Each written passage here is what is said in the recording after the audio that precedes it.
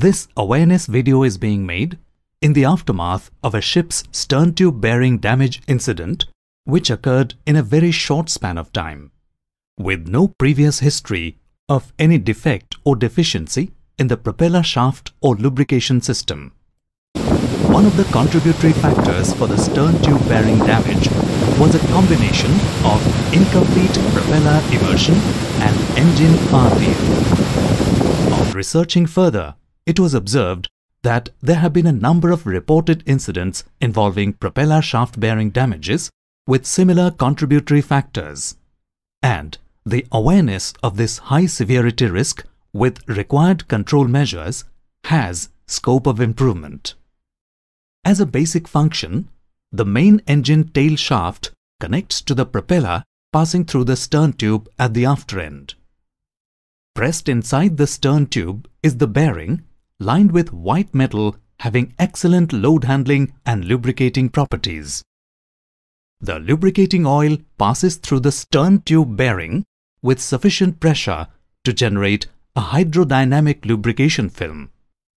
The bearing being at the end of the shaft is affected by the overhanging weight of the propeller.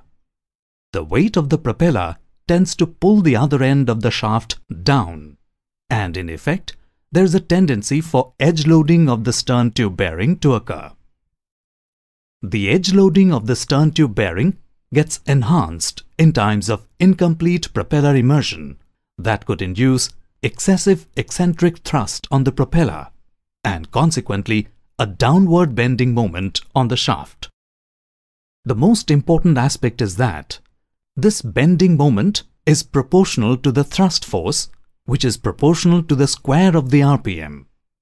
This is the most critical learning and hence I repeat, the bending moment is proportional to the square of the speed.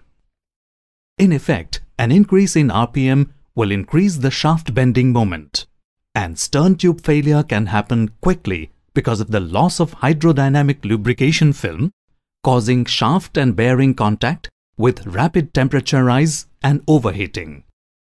Finally, for controlling the hazard and reducing the risk, in specific circumstances such as light conditions, draft restrictions, entering dry dock or ballast exchange at sea, the vessel should implement mitigating measures by 1. Limiting the main engine's speed and 2. Monitoring the stern tube bearing temperature.